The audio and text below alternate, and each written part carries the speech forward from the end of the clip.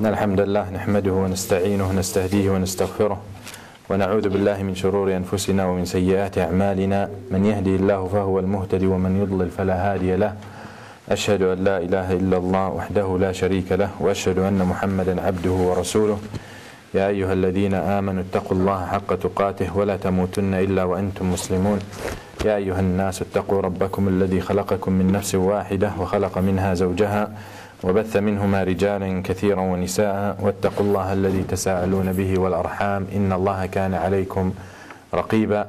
أما بعد فإن أصدق الحديث كتاب الله خير الهدي هدي محمد صلى الله عليه وعلى آله وصحبه وسلم. Tonight inshallah we will talk about آداب إفشاء السلام. آداب إفشاء السلام. وإفشاء السلام يعني نشره.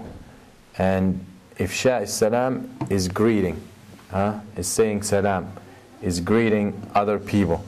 And there are adabs and there are rulings and there are ahkam that Islam came and the Quran spoke about and the Sunnah of the Prophet ﷺ has explained. So when we talk about ifsha is salam, we're talking about announcing the salam. And when we say salam, the word is salam, meaning to, feel, to make someone feel comfortable with you. Yani for example, if you, if you are walking in the street at night and there's another person walking uh, in front of you and you're walking a little faster than him, huh? or even if he's coming toward you and at night, if you were to say Assalamu alaykum, yani if he's Muslim, if you would say Assalamu alaykum, even in English, if you would tell him hi, he will feel less threatened But if he sees you coming toward him and you're silent, uh, and you're quiet and you're not saying Assalamu alaikum or that, he's gonna get scared, right? He might start يعني, drifting away a little bit. He might slow down and start getting ready just in case you might attack him, you might plan to rob him, stuff like that. So when we say salam, we're talking about sending peace and keep making someone more comfortable and giving him peace and tranquility uh, and peace of mind as they said. So when we talk about ifsha salam, is spreading the salam and this is something that a lot of Muslims have neglected either for their ignorance and sometimes for them being ashamed. Yani some Muslims are ashamed today to say salam. So you, you, you're going, let's say in uh, in, in a building, a governmental building or a company or something, and you see someone you, you recognize from the masjid or a Muslim and you know he's Muslim or from his tag or whatever, and you say Assalamu alaikum, he doesn't want to be identified in the company like that, so he will answer hi. Right? And I'm sure this happened to most of us. So it's very important that we understand the ahkam and the rulings from the Quran and the Sunnah when it comes to these things and see the detailing of Allah subhanahu wa ta'ala and the Prophet that they have set forth for us to understand. And salam, the word salam itself can have too many meaning beside the greeting and one of the meaning or one of the things that it's used is one of the names of Allah subhanahu wa ta'ala. One of the names of Allah subhanahu wa ta'ala, Salam. And you see it in the Quran, Malikul Quddus Salam. So Salam is one of the names of Allah subhanahu wa ta'ala. Salam also means means peace. Salam also the greeting of the people in the Jannah. وَتَحِيَّتُهُمْ فِيهَا فِيهَا salam. And their greeting in it, يعني paradise, is salam. So Salamu Alaikum is the greeting of the people in paradise. Also Jannah itself, it's called Dar salam huh? Jannah itself, it's called Dar salam Dar is like the haven of Salam, the haven of peace, the house of peace, the home of peace. That is one of the names of Al-Jannah that the word Salam is mentioned. And also Salama is Al-Afiyah, health, when someone is healthy and strong and functioning well.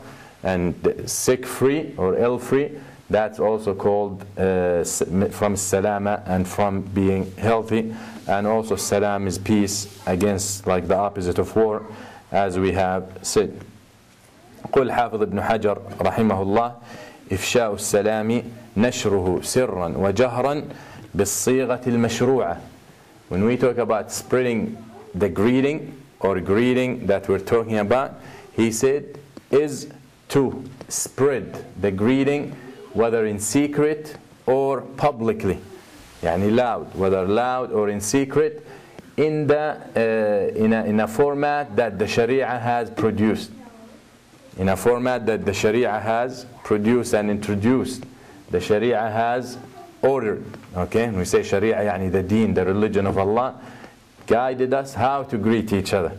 Because you will find a lot of people using different greetings that is besides sometimes it's not from the Islam and sometimes it's opposite of Islam and it's haram and they don't even realize that so it's very important that we, we follow and we greet each other the way that Allah subhanahu wa ta'ala wants us to greet each other وابتداء السلام سنة to greet someone is sunnah يعني to come to someone if you don't greet him it's it's not you won't held, be held يعني accountable if you come towards someone and you don't say assalamu alaikum However, the Muslim is always concerned about saying Salam Alaikum.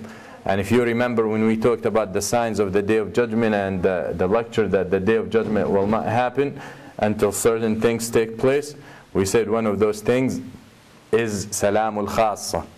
And we said Salamul Khassa, يعني you only say Salam to those whom you know. I don't know if you remember that. So it's very important that we understand that you don't have to say it but for a person who's concerned about the reward and a person who's concerned about spreading the peace and all these things and a Muslim who's concerned about following his messenger sallallahu alaihi wasallam then then he will start the greeting as we will see the blessing and all that.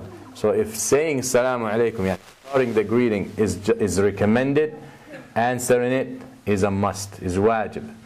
If someone says assalamu alaikum to you you become mandated and obligated to answer back to answer back to him as كما قال ابن عبد البر يعني this is إجماع this is the consensus of علماء of this ummah يقول الله سبحانه وتعالى وإذا حييتم بتحية فحيوا بأحسن منها أو ردوها if you are being greeted somehow then answer back with something similar something better or at least similar so when the Quran when come in, in a command يعني the verb comes in a form of a command and order يعني do so Allah says if you are being greeted somehow then you greet with something better you greet with something better that's a command from Allah that will mean the must and mandation and the obligation that we should respond when we are being greeted قل الإمام البخاري his المفرد أن النبي صلى الله عليه وسلم قال إذا سلمت فأسمع فإنها تحية من عند الله